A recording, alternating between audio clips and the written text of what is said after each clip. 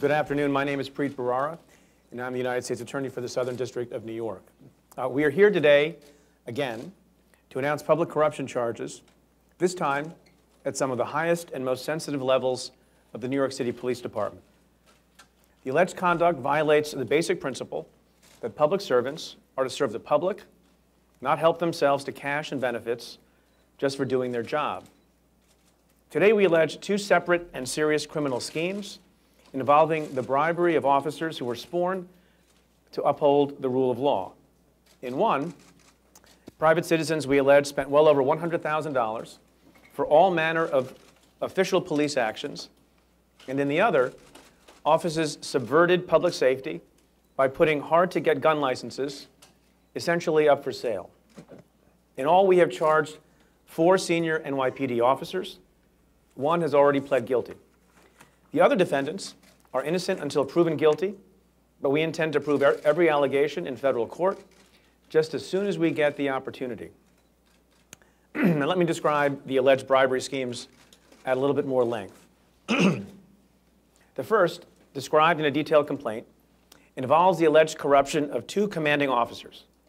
Uh, they are Michael Harrington, the former executive officer of the Chief of Department's office, which supervises all uniformed police uh, officers in the NYPD, and the other is Deputy Inspector James Grant, the former commanding officer of the 19th Precinct on the Upper East Side of Manhattan. Over a period of years, these two police officers allegedly engaged in an egregious quid pro quo relationship with two private citizens.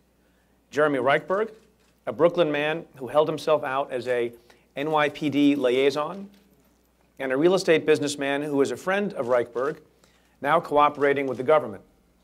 As we allege, they spent well over $100,000 in bribe money to get what they wanted. Now, what did Reichberg and the cooperating witness get in return for their bribes? They got, in effect, a private police force for themselves and their friends. Effectively, they got cops on call. When they needed to get somewhere quick, they called on Grant and Harrington for a police escort, and they got it lights, sirens, and all. When they wanted to go to a parade or other important event in the city, they got VIP access, courtesy of Grant and Harrington. When Reichberg's jewelry business had problems with customers and com uh, competitors, he asked for and got help from Harrington to help settle those disputes. When they, got, uh, when they or their friends got pulled over for traffic problems, they were able to get out of trouble, including a friend of Reichberg who, according to an officer at the precinct, was quote, driving like a lunatic, close quote, into traffic and running red lights. As the complaint describes, and you should read this, it's at page 14 of the complaint, this friend appears to have gotten away with this dangerous driving without any consequence at all in real time as he was being stopped by an officer. And as we also allege, they even got help obtaining gun licenses from the NYPD, with Reichberg able to use Grant and his connections at the gun licensing division to get a full carry license within days, despite a process that normally takes months. As described, Reichberg and the cooperating witness showered officers Harrington and Grant with bribes in exchange for all these official actions. if you take a look at the, the chart to my right, I've already talked a little bit about what the official police action uh, was uh, on, on, that was done by Michael Harrington and James Grant uh, at the behest of Jeremy Reichberg and cooperating witness one? And what are some of the things that we allege in the complaint uh, that were paid uh, in exchange for those official actions, among other things? Hotels in Rome for Grant, in Chicago for Harrington, a Super Bowl trip to Las Vegas on a private jet for Grant, over $75,000 in private security business for Harrington, and some $12,000 in home contract work for Grant not, not to mention expensive dinners, sporting event tickets. There's even an allegation of, uh, of toys for one of the officer's children. So it went on and on and on as detailed at some length in the complaint.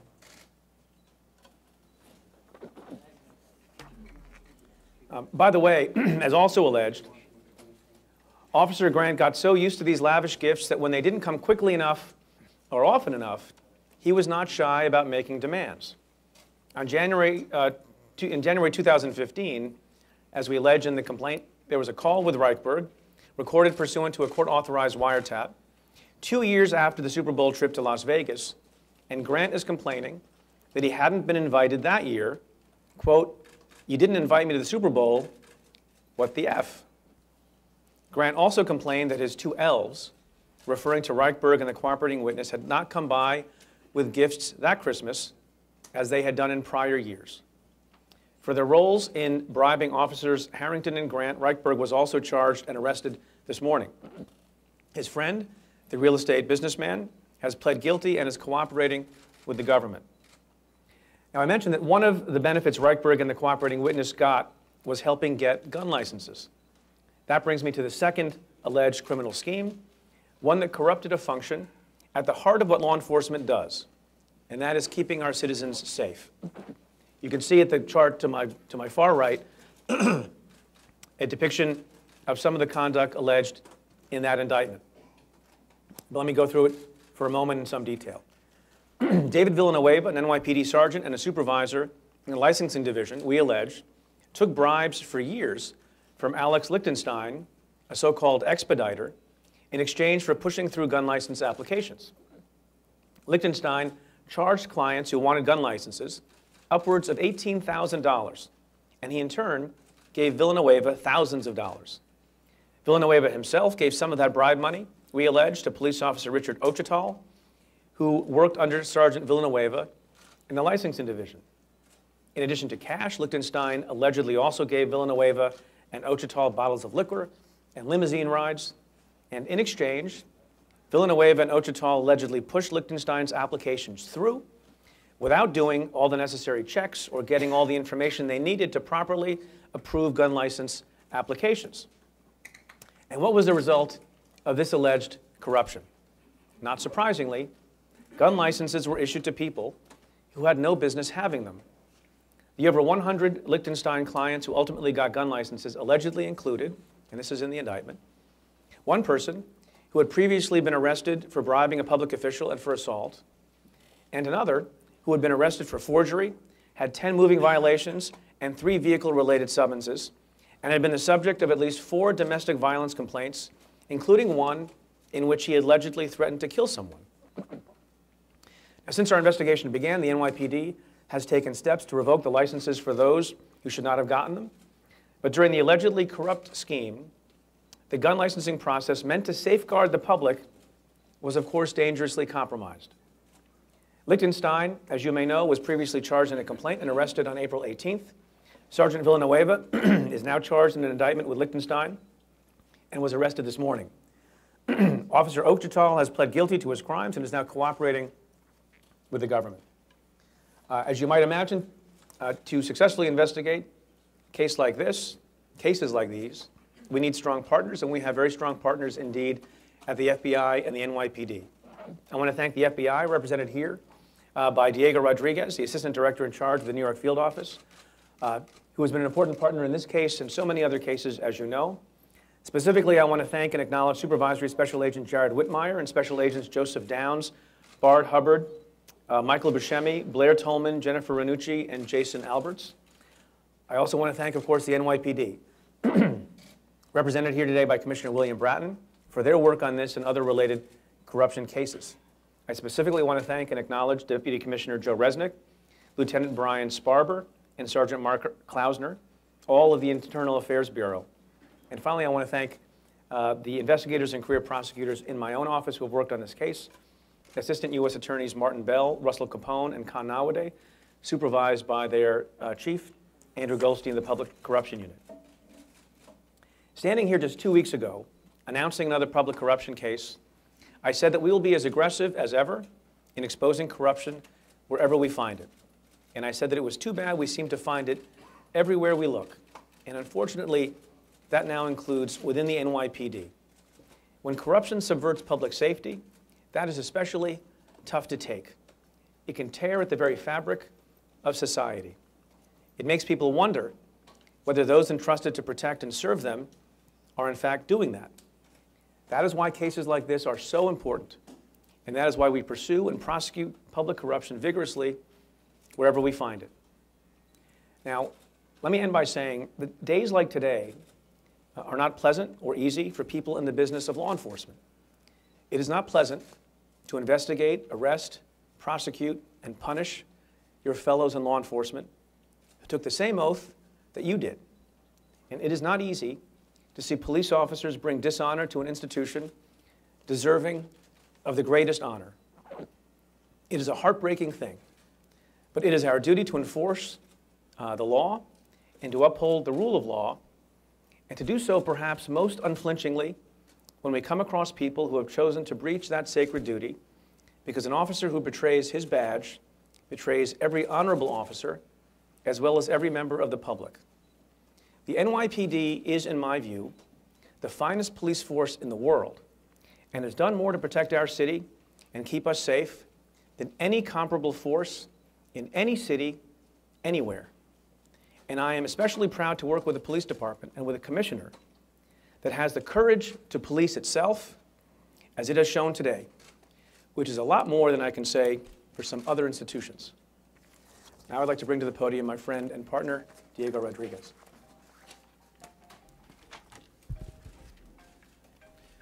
Thank you. Good afternoon, everyone. At the FBI, we have no higher criminal priority than public corruption. This case, U.S. Attorney Bharara just detailed for you shows you just how dangerous the abuse of power can be. Public servants should be above reproach, and none more so than those law enforcement officers who swear an oath to protect and serve. As alleged in the indictment, David Villanueva set aside that duty for nothing more than his own financial gain.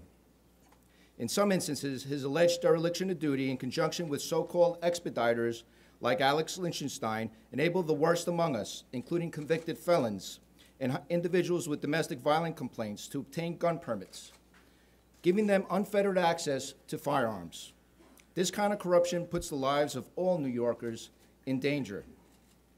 The alleged pay for play schemes involving Jeremy Reichberg and officers James Grant and Michael Harrington involved Reichberg allegedly providing Grant and Harrington with lavish gifts in exchange for services and favors. Reichberg didn't allegedly provide these gifts just to get his friends out of, out of tickets, as alleged in the complaint. He was grooming Grant and Harrington to be his pawns, attempting to ensure his ability to exert undue influence over high-ranking uh, uh, officials in the NYPD for officers and to the officers to come. And Grant and Harrington allegedly went along with it, again, for nothing more than financial and personal gain. Those abuses of power are not victimless crimes. The victims are the citizens of New York who rely on their public servants to fulfill their sworn duty. The victims are the upstanding police officers who do everything in their power to uphold the law and protect the public. The victims are the public trust and confidence in law enforcement, both critical to ensuring public safety. The FBI, along with our partners, will continue to root out this kind of decay in every level in order to protect our citizens from the devastating consequences of corruption that undermines safety and erodes the trust between law enforcement and the public. I'd like to thank, as always, our partners, including U.S. Attorney Preet Bharara and Assistant U.S. Attorneys Martin Bell, Russell Capone, and Kan Nawaday, Commissioner Bratton, and the NYPD Internal Affairs Bureau. I would also like to thank and congratulate the FBI's Public Corruption Investigative Team for their dedication and the hard work they put in bringing this case to its conclusion. Thank you very much. Thanks, Diego. Now, uh, let's hear from Commissioner Bratton. Thank you. I'd like to acknowledge the U.S. Attorney, head of the FBI, and thank them for their close collaboration and leadership during the course of this investigation over the last several years. I think I can safely say it's probably been unparalleled in the sense of collaboration and cooperation in this very important matter. These are never good days, never easy days, as the U.S. Attorney referenced. But what I see here is that the system works, the system where we seek to proactively go where the truth takes us, no matter what the consequence. This case began with a call to IAB three and a half years ago, in the pre-dawn hours. Kicked off a case. When that investigation crossed uh, with an FBI case, the investigations merged. When two police officers came forward on the same day, separately, with allegations of corruption about this case, those complaints were quickly turned into investigative action. What we are not seeing here is a malaise where corruption is ignored, or slow-rolled, or passively covered up. We see an aggressive system that worked here, U.S. Attorney's Office, FBI, and at the NYPD. At the NYPD, I'd like to single out for acknowledgement, certainly uh, Deputy Commissioner Joe Reznick, his deputy chief that uh, heads up uh, Group 25, the group that investigated this case and were embedded with the FBI, several members that the U.S. Attorney has already referenced, uh, Chief uh, Brian O'Neill, and certainly uh, we benefited extensively with the involvement of my Deputy Commissioner for Legal Matters, Larry Byrne, who for many years worked in the Southern District as a prosecutor.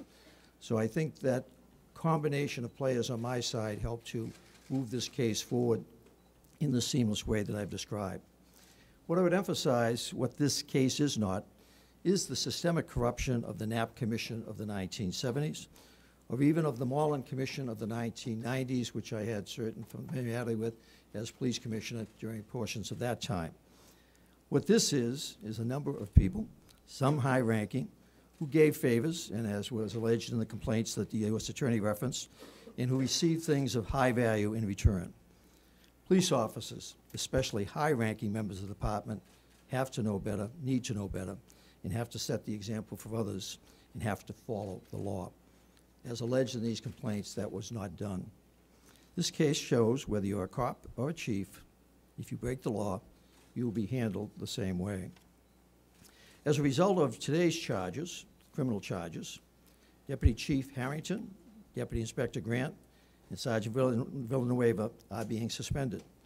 Chief Harrington and Inspector Grant have previously filed notices of retirement, which are effective this week. Although the department cannot prevent their retirement, they will do so under suspension and therefore not in good standing. Officer Ochetal is currently uh, cooperating, as uh, the U.S. Attorney has referenced. He is on uh, modified assignment from the department at this particular time. In closing, again, I thank the U.S. Attorney for his leadership in this issue, and I thank the U.S., the FBI for their willingness to work closely with us, that uh, I think this shows the best of all three of our organizations, what we can accomplish when we work together. Thank you. Thank you, Commissioner. Happy to take your questions.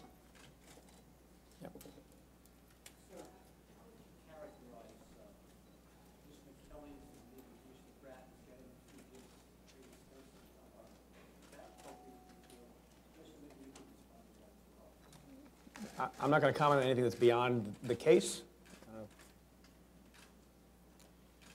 Uh, A question for Commissioner Brett.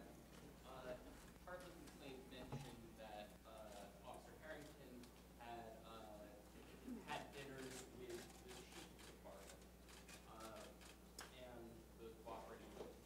What's happening, if anything, with the chief department at the time? Who I believe at the time is still practicing. And I'm sorry, the, the last part of your question? Uh, The chief of department at the time, I believe was, if- if Okay. this was in I can't speak to anything uh, if- as it relates to uh, former Chief of Department uh, Philip Banks.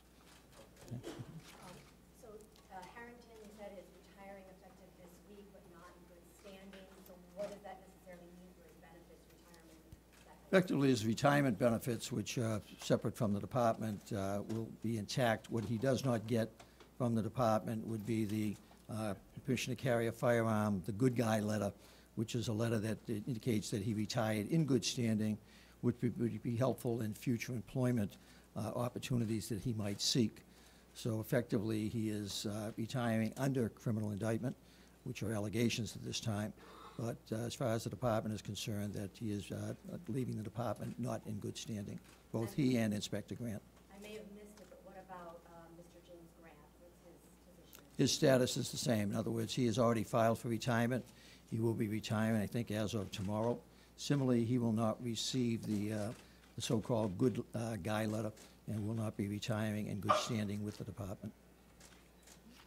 for, uh, for, uh, U.S. Attorney Bahar, or perhaps Commissioner Bratton, you talked about a cops on call situation that this indictment should underscore.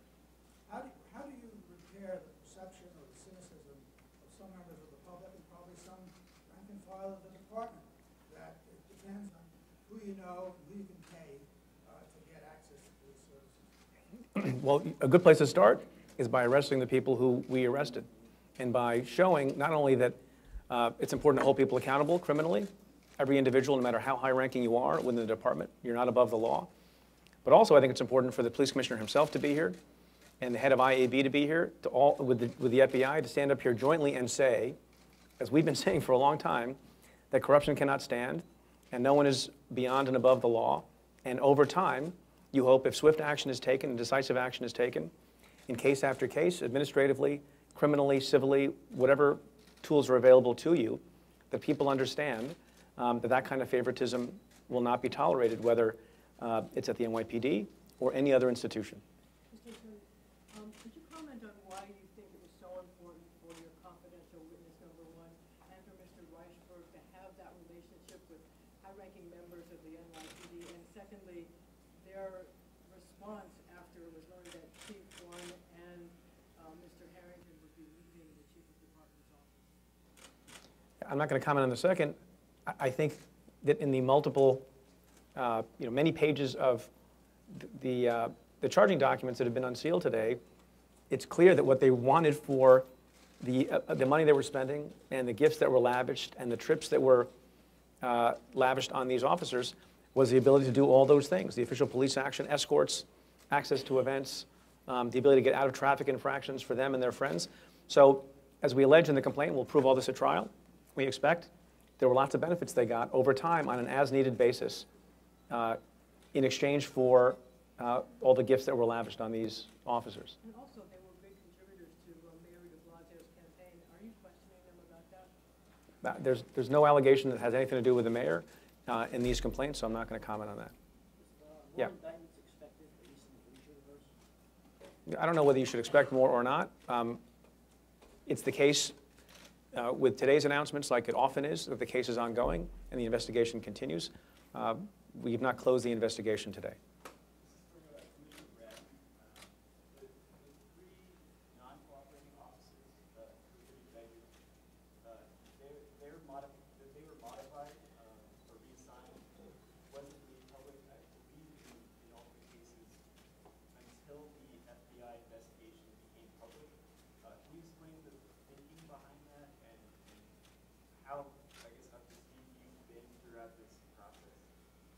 Uh, We have been up to speed intimately with this, uh, learning of it back in 2014 when I first became commissioner, and continuing through the investigation, particularly as it began to accelerate and multiple investigations began to be joined together, that uh, there was a high degree of intimacy at all levels, uh, through the U.S. Attorney's Office, down with the FBI, and within my organization, with Internal Affairs, which had several of their people embedded with the the FBI for the investigation. So everything that was done during the course of this investigation was done in furtherance of ensuring that we could, uh, to the best of our ability, get to the bottom of what was going on uh, with as complete an understanding as possible. And I think the uh, uh, uh, charges that have been leveled today by the U.S. Attorney's Office are reflective of the scope of that investigation and the intimacy of it. Last question. Can, can I ask, what's your message to other chiefs who say, in their course of business, they have to meet with community people, they have to go with dinners to them, and they're nervous now to do that sort of work, because if you go out to a dinner with someone, you can be looked at as corrupt, Mr. Brown. Well, there is an irony involved here in that we uh, strongly encourage, and it is essential, that at all levels of the department, civilian ranks, police ranks, high level, low level, uh, whether it's neighborhood coordinating officers on up to precinct commanders to bureau chiefs, borough chiefs, that we encourage that they develop relationships with their communities. But there are laws, criminal laws, there are conflict of interest uh, guidance uh, uh, is- issues, there are department policies that need to be, they need to be cognizant of and need to adhere to. We have been making an effort over the last number of months, since learning of the scope of this issue, to educate our personnel relative to their duties and responsibilities, certainly as it relates to the law. It's fairly clear cut. Uh, The conflict of interest issues, at department administrative policies, oftentimes a little more complex in some respects.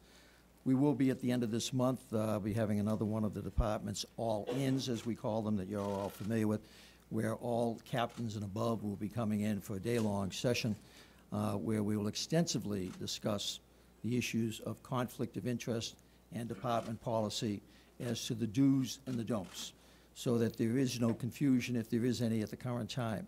Uh, It's our obligation as a department to, if there are policy deficiencies that may have emerged as a result of this investigation, to ensure that those deficiencies are addressed. If there are ignorance or lack of understanding on the part of our personnel as to their responsibilities, that those will be addressed. And then also to the public, uh, to the public, reminding the public that uh, in certain instances, what we would need from them is their understanding, what we can do, what we can't do, when we can do it, why we can do it, or why we can't do it. So it is an issue that uh, uh, is going to require more work on our part, certainly, but as all things uh, coming out of these investigations, that you learn from them and then you move forward uh, with what you've learned from them. Thank you. Thank you.